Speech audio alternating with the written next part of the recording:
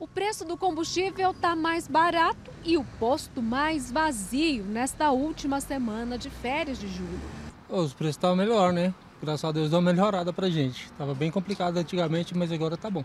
Já os que abastecem na gasolina, porque rodam muito, continuam pesquisando mais para achar descontos melhores. Hoje eu achei de 5,19 foi o preço mais em conta que nós encontramos e o mais caro de 5,36, 5,37.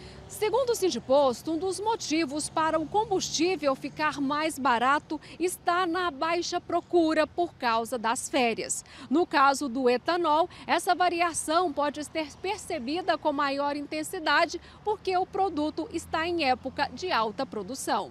O consumidor diminui a utilização do veículo e também viaja nesse período, fazendo com que o trânsito e as vendas caiam bastante na capital. A variação no preço da gasolina pode chegar a 30 centavos por litro, no caso do etanol, 60 centavos.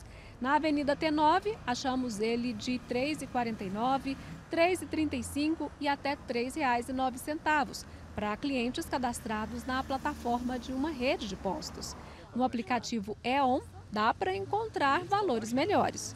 Postos fazem promoções, reduzem seus preços, tentando atrair o consumidor e recuperar o volume e com isso abrindo mão da sua margem de lucro, reduzindo-a para que possa atrair esse consumidor.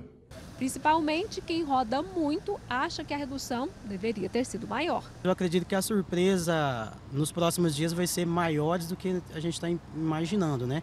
Porque era para ter agora esse mês de férias uma redução bem grande.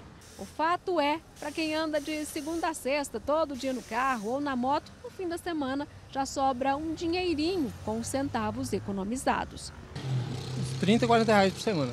Já ajuda bastante.